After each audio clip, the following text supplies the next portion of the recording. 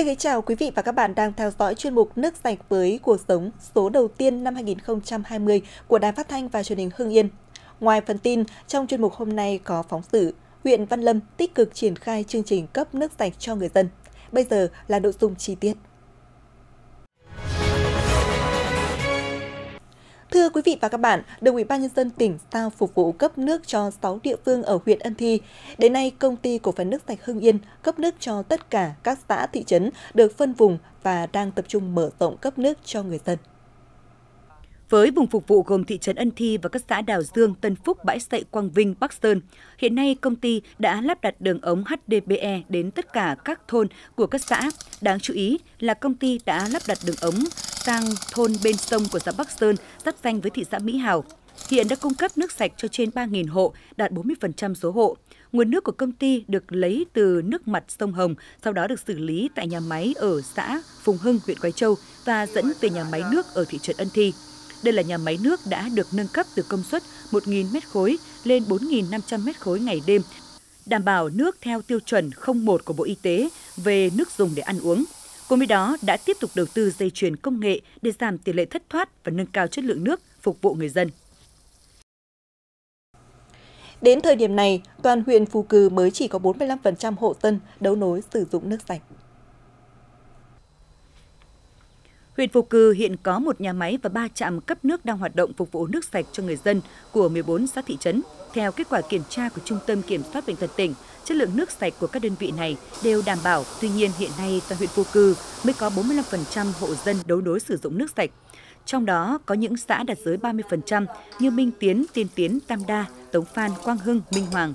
Trước thực trạng này, huyện Phù Cừ và đơn vị cấp nước đang tích cực vận động tuyên truyền người dân về lợi ích và sự cần thiết của việc sử dụng nước sạch.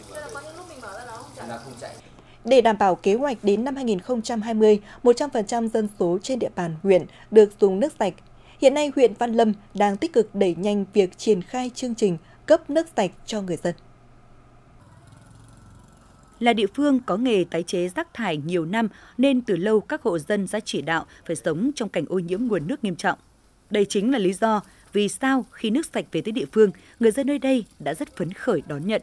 Hiện toàn xã chỉ đạo đã có gần 100% hộ dân đăng ký sử dụng nước sạch. Từ khi nước sạch về thì bà con dân quá phấn khởi chứ.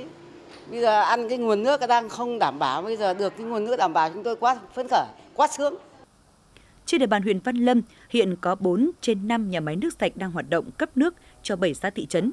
Tại các địa phương này, tỷ lệ lắp đặt đường ống đến các thôn, xóm, khu dân cư đã đạt 95%, tỷ lệ người dân đấu nối đồng hồ sử dụng nước sạch đạt trên 60%. Một số xã đạt tỷ lệ cao trên 80% là Trưng Chắc, Đình Dù, Tân Quang và Chỉ Đạo. Tuy nhiên, huyện Văn Lâm vẫn còn hai xã chưa có nước sạch, gồm Việt Hưng và Lạc Hồng. Hai xã có tỷ lệ hộ dân sử dụng rất thấp là Minh Hải 6%, Lạc Đạo 0,9%. Đây là các xã nằm trong phân vùng cấp nước của nhà máy nước sạch An Sinh. Hiện nay nhà máy này vẫn chưa được xây dựng do chưa tiến hành xong thủ tục giải phóng mặt bằng. Trong thời gian tới, ờ, chúng tôi đã tham mưu ủy ban nhân dân huyện là chỉ đạo cho các ờ, phòng chuyên môn rồi các xã thị trấn và đơn vị cấp nước thì tập trung cho công tác tuyên truyền để nâng cao nhận thức của người dân về cái việc sử dụng nước sạch và động viên nhân dân là tích cực đăng ký và đấu nối đồng hồ để đảm bảo làm sao mà đạt kế hoạch đề ra. Thế cũng chỉ đạo cho các phòng ngành theo chức năng nhiệm vụ là tổ chức kiểm tra, giám sát và đôn đốc các ờ, nhà máy là là là hoàn thành cái việc ờ, đấu đấu nối đường ống cũng như là đồng hồ cho hộ dân theo như cái đăng ký của người dân. Riêng đối với nhà máy An Sinh có cam kết trong tháng 1 2020 này nếu như nhà máy mà không triển khai thi công thì chúng tôi sẽ đề nghị Ủy ban nhân dân tỉnh là phân lại vùng cấp nước của nhà máy này. Là một huyện phát triển, Văn Lâm sẽ đạt được chỉ tiêu đề ra trong việc thực hiện chương trình cấp nước sạch cho người dân nếu có sự vào cuộc quyết liệt của cả hệ thống chính trị. Những hình ảnh vừa rồi đã kết thúc chuyên mục Nước sạch với cuộc sống tháng 1 năm 2020 của Đài Phát thanh và Truyền hình Hưng Yên.